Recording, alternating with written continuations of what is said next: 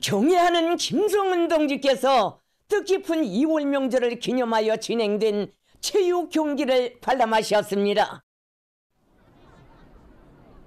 민족 최대의 경사스러운 광명성절을 기념하여 2월 17일 내각과 국방성 직원들 사이에 체육 경기가 진행됐습니다.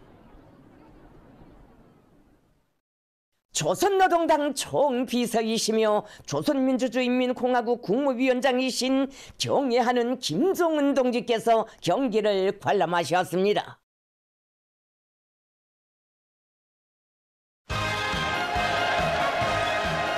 꼼절에도 뵙고 싶던 경애하는 김종은 동지를 모시고 2월의 본명절에 뜻깊은 체육문화 행사를 진행하는 하나큰 영광을 지니게 된 내각과 국방선 일꾼들의 환희와 격장으로 경기장은 세차게 설레이고 있었습니다.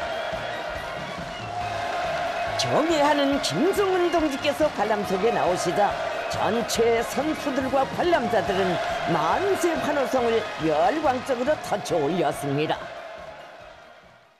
조선노동당 중앙위원회 정치국 상무위원회 위원들인 김덕훈 동지, 조영은 동지와 당중앙위원회 비서들인 리란 동지, 김재룡 동지를 비롯한 당중앙위원회 간부들, 내각 성원들, 성중앙기관 일꾼들이 경기를 관람했습니다. 방순남 동지, 박수일 동지, 종경택 동지를 비롯한 국방성 지휘 성원들과 장병들, 군사교육단위 교직원 학생들이 함께 보았습니다. 먼저 내각과 국방성 직원들 간의 축구 경기가 진행됐습니다. 경기는 시정 치열했습니다.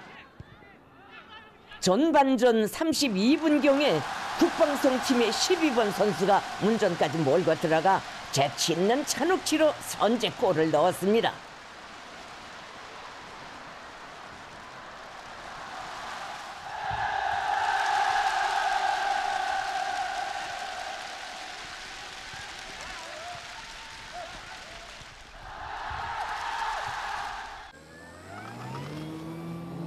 경기 휴식 시간에 평양 항공구락부 모용 항공기 선수들이 각이한 모용 항공기들의 난도 높은 기교 비행을 펼쳐놓아 관람자들을 기쁘게 해주었습니다.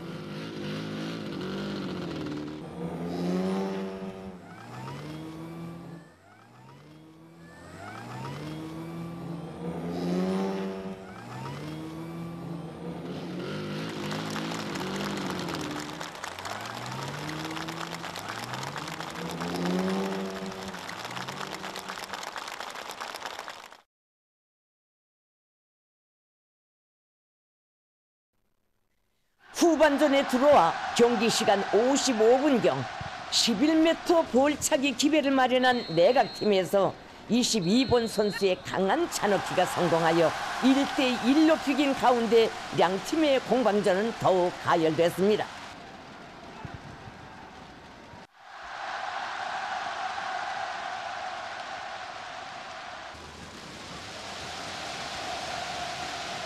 선수들 모두가 지칠 줄 모르는 강한 승부심으로 경기장을 종횡무진하며 멋진 경기 장면들을 펼쳐 보이는 속에 손에 땀을 주게 하는 득점 기회들이 마련될 때마다 관람석에서는 기쁨과 아쉬움이 엇갈린 호송이 터져 나오고 응원 열기는 한층 고조됐습니다.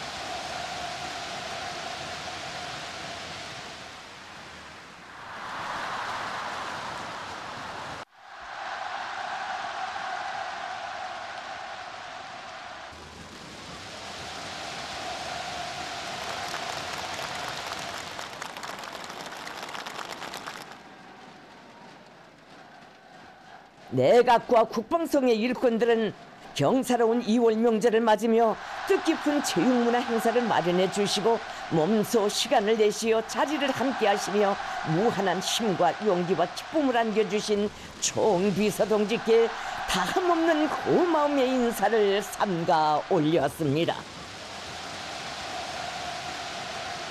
경기에서는 국방성 팀이 내각팀을 3대 1로 이겼습니다. 축구 경기에 이어 내각과 국방성 직원들 사이에 밧줄 당기기 경기가 진행됐습니다.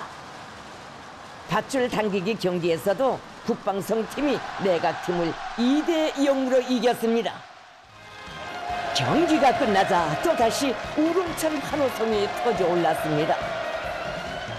전체 참가자들은 경애하는 김종은 동지와 사랑하는 자제분을 한자리에 모시고 기쁨과 희열에 넘치어 뜻깊은 2월의 본명절을 기념한 오늘의 이 순간을 소중히 간직하고 용기 백배 기세 충천하여 인민을 위해 멸사 복무하며 올해를 공화국의 발전 행로에 크게 아로새길 위대한 전환의 해, 변혁의 해로 만들기 위한 투쟁에 지혜와 열정을 다 바쳐갈 굳은 교리를 다지었습니다.